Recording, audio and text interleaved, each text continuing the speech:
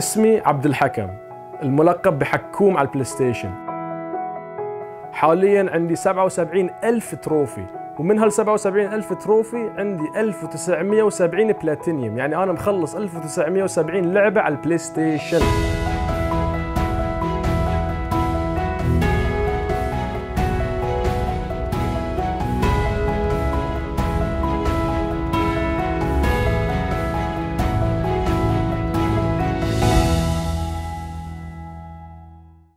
بديت مشواري في 2008 على منصة البلاي ستيشن 3 وحاصل على ثلاث موسوعات جينيس على منصة البلاي ستيشن منها جينيس على أعلى عدد بلاتينيوم وأكثر عدد trophies وأكثر عدد نقاط النقاط هو اللي يحدد المركز على البلاي ستيشن وأنا المركز الأول طبعا. وأنا حاليا قدمت على أربع فئات جينيس وإن شاء الله إذا قبلوني راح أدخل جينيس سبع مرات على منصة البلاي ستيشن طبعا يعني لأن واحد يدخل في ال gaming وهو صغير دائما الأهل دائما يقول له إنه يبتعد عن هالشيء معروفة يعني الحاجة. الأم والأبو دائما يعني ما يحبون إن الولد يلعب ألعاب ويشغل باله بالألعاب. بس إنه يعني الواحد لازم يتقبل هالشيء يعني وأنا واصلت من هالشيء حتى لأن عيلتي ما كانوا يحبون هالشيء بس شوي شوي يعني تقدر تقول they got used to يعني تأقلموا على الموضوع والحين صاروا عادي بالموضوع يعني. من من زمان أنا قاعد أسوي هالحاجة. بدايتي كانت على البلاي ستيشن 3 أول ما اشتريت البلاي ستيشن 3 كنت ألعب على الجهاز البلاي ستيشن 3 وبعدين سوني قررت تنزل patch ال trophy patch سنة 2008 July. فأول ما نزلت ال patch ولعبت لعبة Super Stardust و Uncharted كنت أشوف أشياء تطلع على الشاشة نفس ال trophies وعجبني هالشيء يعني كان الصوت يطلع مال ال trophy ولأن الواحد يخلص ال trophies مال اللعبة كلها يطلع له البلاتينيوم يعني فهاي كان نفس reward إن اللاعب خلص اللعبة 100% ويطلع له البلاتينيوم ويثبت إنه خلص اللعبة. فعجبتني السالفة وأنا أحب ال competition هو أول trophy حصلت عليه لأن سوني نزلت ال patch في لعبة اسمها Super Stardust لعبة كانت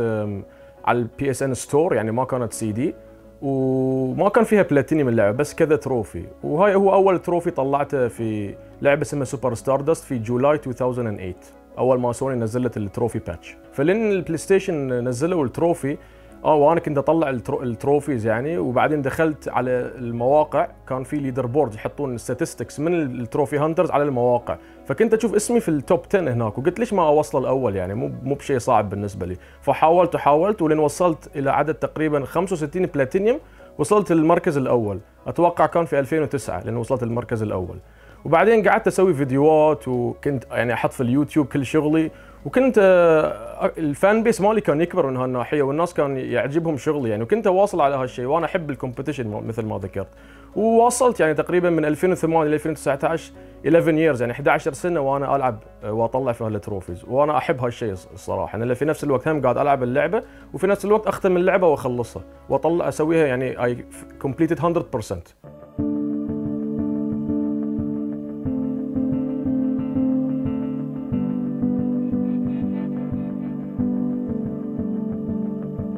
أول لعبة أونلاين الصراحة اللي استمتعت فيها وجربتها كانت لعبة ال Resistance ولعبة Killzone. طبعا أكيد ألعاب الأونلاين تختبر الشخص يعني وقدراته لأن لأن تلعب single player تلعب ضد artificial intelligence في النهاية يعني. artificial intelligence يعني ما ما يقدر يخدعك بطريقة الإنسان اللي يخدعك انت تلعب.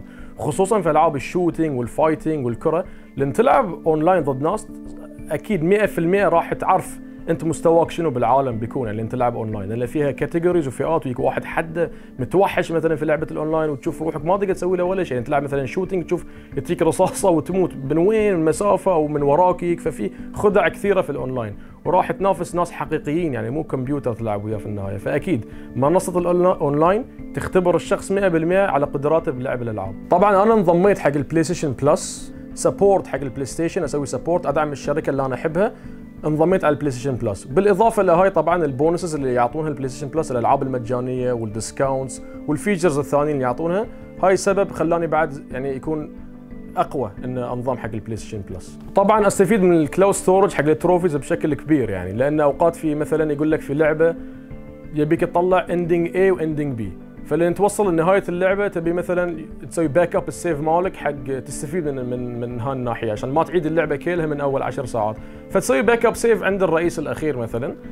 تخلص اللعبة ending A آه، ترجع تسوي upload download قصدي ال save اللي سويته upload في ال PS Plus وتواصل من نفس المنطقة وتطلع ending B فهاللون انت وفرت على نفسك 10 ساعات لعب يعني. ال gaming في عصرنا الحالي مو بس هواية تعتبر وظيفة. في وايد ناس يعني يلعبون ويسوون streaming ويرفعون فيديوهاتهم على اليوتيوب وماخذين الموضوع ك يعني مو بس هواية كوظيفة وفي في دخل على السالفة ويعيشون من هالشيء وفي ناس مو بس يدخلون آلاف يدخلون ملايين من ال من ال من, ال من ال gaming فهاي شيء وايد ضروري. الواحد لازم يعني اللي نشوف ولده مثلا متأقلم بال gaming وناجح يفتح له قناة باليوتيوب يلعب وياه بعد. الحين لو تلاحظون باليوتيوب في أطفال صغار يعني أطفال ما تتجاوز أعمارهم العشر سنوات يلعبون ألعاب بسيطة ويدخلون آلاف. طفل يعني ما حتى خلص مدرسة يدخل آلاف من الحين يعني قاعد يلعب على ال PlayStation ويدخل آلاف. فأنصح يعني إن الواحد يعني يستفيد من هالمنصة منصة الألعاب.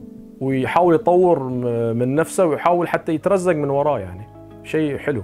رسالتي طبعا ك gamers وحق اللي يشوفون البرنامج إنه دائما لما بتلعبون أي لعبة تبونها العبوها. لا تسمعون مثلا من ك... من ناس غير إن هاللعبة زينة ولا مو زينة. أنتم جربوا اللعبة بنفسكم شوفوها حللوها وقارنوها بنفسكم. وطبعا لا لعبوا أي لعبة تبونها. مثلا تبي تصير trophy hunter إذا واحد يقول لك ليش تلعب ألعاب سهلة؟ العب ألعاب صعبة ما فيها متعة ما فيها شيء، لا أنت اتبع نفسك، أنت تبي تطلع بلاتينيوم اشتري اللعبة السهلة والعبها، أنت مستانس، أنت تتحكم بنفسك بنفسك، لا تخلي الغير يتحكم عليك يعني. وفي النهاية يعني enjoy enjoy your life and enjoy what you're doing يعني استمتع بحياتك يعني لا تخلي أحد ثاني يعني يتدخل عليك.